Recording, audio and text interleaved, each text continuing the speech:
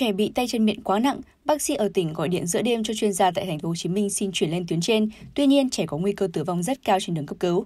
Theo phó giáo sư bác sĩ Phạm Văn Quang, trưởng khoa hồi sức tích cực chống độc bệnh viện Nhi đồng 1 thành phố Hồ Chí Minh, bệnh nhi là bé gái NPN 23 tháng tuổi ở Bạc Liêu.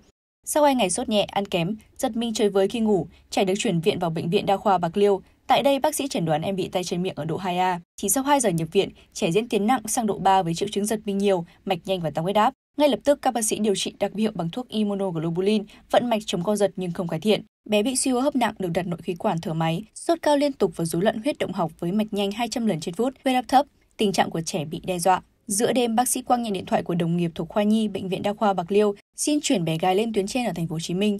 Tuy nhiên, tình trạng của trẻ rất nặng, việc chuyển viện không an toàn. Nếu chuyển đi lúc đó chắc chắn trẻ sẽ tử vong. Qua hội trần bằng điện thoại, chúng tôi quyết định tiến hành lọc máu ngay trong đêm để cứu bệnh nhi, bác sĩ Quang chia sẻ. Lọc máu là một kỹ thuật rất khó, càng khó hơn khi thực hiện trên trẻ tay chân miệng, nhỏ tuổi và ít cần dễ thất bại.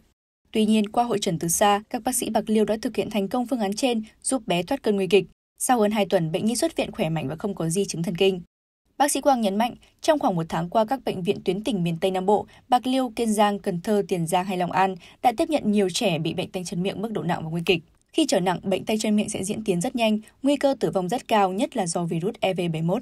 Đối với các bệnh viện ở xa, việc chuyển viện nhi nặng về tuyến cuối ở thành phố Hồ Chí Minh sẽ không an toàn, nguy cơ tử vong cao trên đường vận chuyển.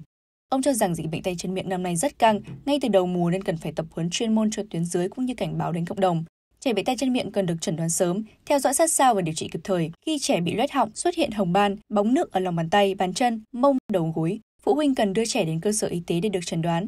Các dấu hiệu nặng của bệnh tay chân miệng cần chú ý là sốt cao liên tục, khó hạ sốt trên 2 ngày, nôn nói nhiều, giật mình chơi với, run chi, đi đứng loạn trạng, tay chân lạnh, vã mồ hôi, ly bì, thở mệt.